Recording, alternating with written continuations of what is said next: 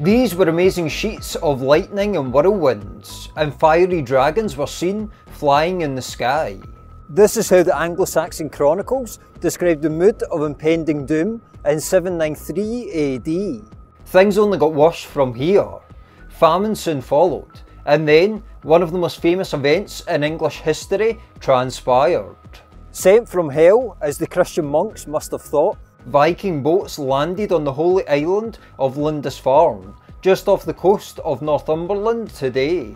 Driven in part by the gold sparkle of riches, the Vikings laid siege to a bastion of Christianity in Northumbria, where the Church of St Cuthbert stood.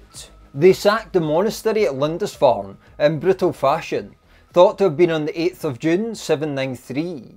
As the Anglo-Saxon Chronicles state, the woeful inroads of heathen men destroyed God's church in Lindisfarne Island by fierce robbery and slaughter. Lindisfarne wasn't just famous in what we call England today. Worldwide, Lindisfarne was known as a bastion of Christianity.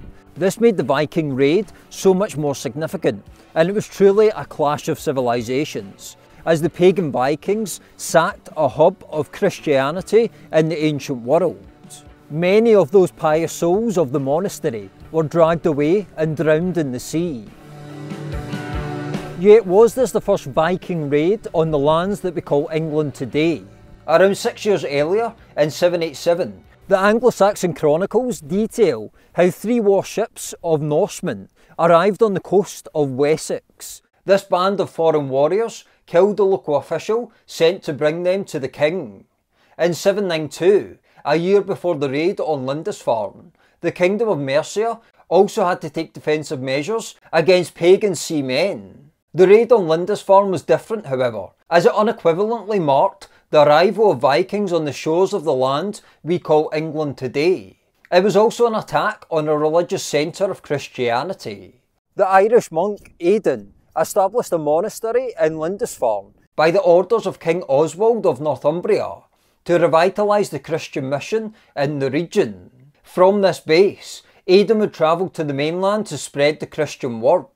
Lindisfarne is also known as the Holy Island, and it was a centre of Christianity in the ancient world. Lindisfarne was truly an island into itself. You can even see today it's essentially cut off from the mainland. In order to get to the Holy Island, you need to cross the causeway. Behind me is the tidal causeway, that you can either drive or walk over. So if you are planning on coming here, you will need to check the government website. Essentially the tide comes in at certain points, it means it's unsafe to, to cross the causeway. Um, so for large parts of the day it is safe to cross, but if you are going to come here, I would definitely check the government website.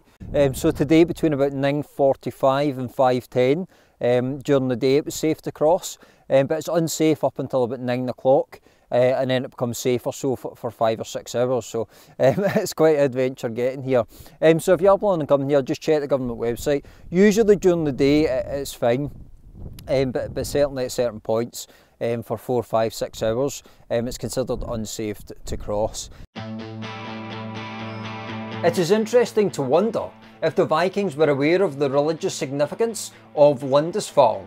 From a psychological warfare perspective, Sacking such a religiously symbolic centre of ancient England spread terror throughout the lands. Did the Vikings have intelligence to understand what they were attacking? Or was it simply chance that they attacked such a symbolic religious centre? Please let me know your thoughts below. In the years following Lindisfarne, the Vikings went on to sack numerous other monasteries around the British Isles. Who, let's face it, were easy targets. These included the monastery at Jarrow, also in Northumbria, and famously, in the monastery on Iona in the Scottish Hebrides. The Vikings that sacked Lindisfarne in 793 AD came from Norway and came directly across the North Sea. And the attacks they launched were short, hit and run affairs. By the middle of the 9th century, however, Viking armies, largely Danish at this point, were conquering whole kingdoms in England and famously established the Danelaw. Vikings also spread out across Europe into modern day France and even modern day Russia and Turkey, raiding and looking for new lands to settle. Population pressures back home is thought to be one reason why the Vikings ventured so far. The Viking Age in Europe did not end until the middle of the 11th century. Today, Lindisfarne is much of a tourist attraction and there is numerous things to see.